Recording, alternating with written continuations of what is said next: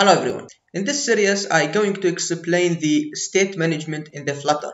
So you know the Flutter is uh, using the reactive programming or reactive paradigm. So in the reactive programming there is something called state management. What's the state management here? What I mean by state management? I mean by state management the UI in the application, the user interface will change in the runtime depending on changing in the state.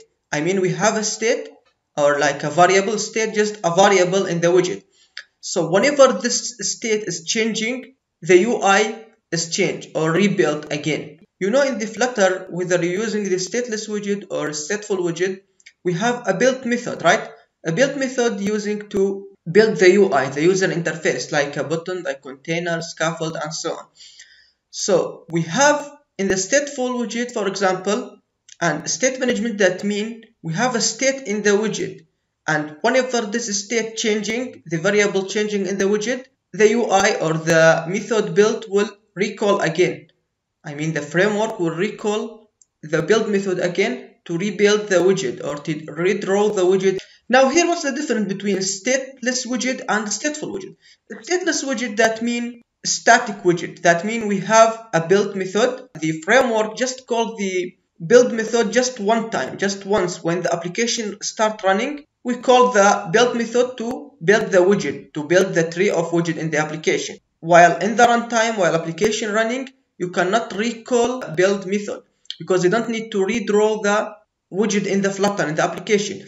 So here, if you have a static widget, nothing change in the UI, the user interface, you need just a stateless widget. But in this stateful widget, it is in contrary. That means we have a widget, we have a build method, but also we have a state inside this widget, like a variable. We have variables inside this widget, for example. Whenever the variable change, you need to rebuild the UI, the user interface. That means we want to recall the build function or build method. Stateful widget using when we have a dynamic user interface. That means when we click something, something will change in the user interface. We need to redraw the widget or recall the build method. So now I will give you an example about that. Run app and I have material widget, material app. In the material app I have home, you know that. In the home I want to add the class, for example, test. Just for example, to test something. Test stand from stateless widget. That means static widget. Here in the stateless widget I want to called the build method. You know, we have a build method to build the UI, the user interface. Just override this widget. This widget here, you can see return a widget. The build method, this method, return a widget. So here you should return a widget. So scaffold. In the scaffold, I have just body, just for example. In the body, I have center because I want to add the widget in the center. I have child, I have text, for example. Text, for example and also here I want to add a state or I add a variable here like for example integer counter equals 0 that means this counter begin with 0 and I mean to see the I want to see the counter here in the widget in this text. Also I want to add a style to the text text style. I want to add uh, font size to the 40 for example. After that in the scaffold also I have a float button floating action button. In the floating action button, I want to add floating action button. And this button, I have the child, the child just icon, for example, to add the data. And also we have on press or on tap, on press, on press just a method here. Inside on pressed, I want to do something. But now after that, I have this this is the interface and I want to run my application. Now you can see we have like this the UI. When I click here, nothing happened, right? Because on a press it's empty. Now I want now it is a stateless widget. Nothing changed in the UI. You can see here the UI, the user interface is static. When I click here, nothing changed, right?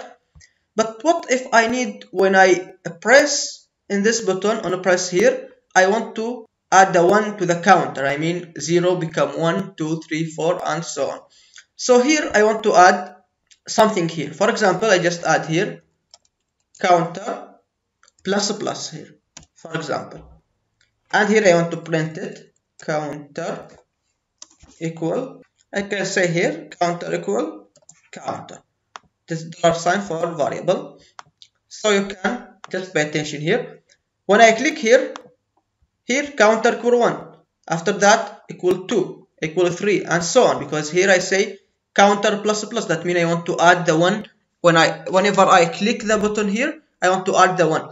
But here in the text in the widget here you can see the counter stay still zero not change. Because here it is stateless widget. So if I want to change the widget I want to change this value here I want to rebuild the widget to make it a stateful widget so here I cannot do that because see this change here but I cannot change the widget because I cannot rebuild the widget so to do that, I want to make it to convert this class to the stateful widget. So here I want to add the stateful widget. So I want to delete everything. Just uh, this scaffold, I want to copy it, to cut it, because I want to begin uh, begin from the zero. Just I want to cut it because same thing. And now I will begin to add a class, also test, but now extend from stateful widget. stateful widget, I should create a state. So I should create another class or another object called state. You can see here we have a state that means it is return state. Create state. I should create a state here. So I create another class. Call it for example test state. It extends from state. pay attention here. This class it is store a state store a variable. We have a state here a counter for example. This class for storing a state for stateful widget so here if I say state and here generic that means state for what? I want to store a state for what? For which class? Of course I want to store a state for this class here. So here I want to add test that means this class. And then here return state i want to return state so i want to return this class because state. Now complete. Now here just i want to build the widget. I want to call the build right?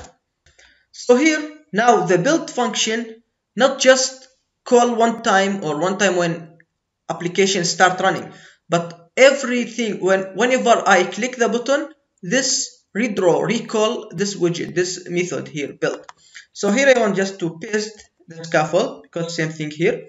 I add the scaffold. And also here I want to add the counter.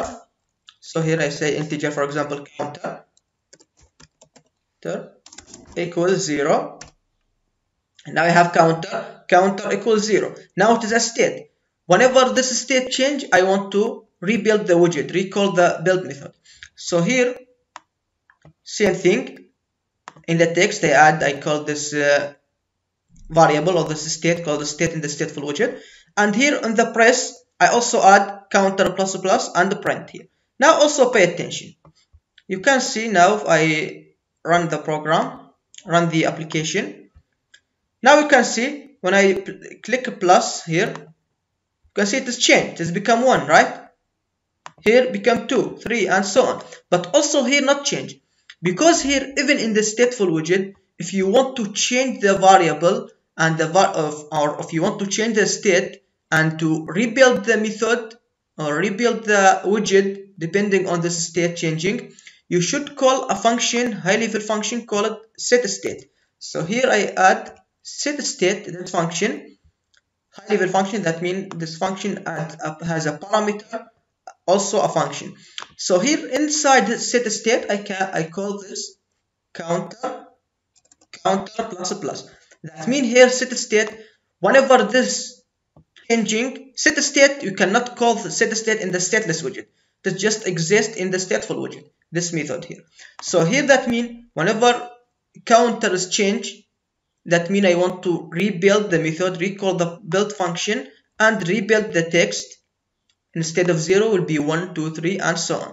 Now if I compile if I run the application here now you can see when I click here whenever I click here you can see it is 1 rebuild the method change the UI click here change the UI again and again and again. Now here it is a difference between stateless widget and stateful widget in the simplest way. We have a stateless widget you can see it is a static. Now here in the stateful widget it is a different. Whenever I click the button whenever I click something the UI is changed here. Something is changing here. So I rebuild the widget or recall the build method.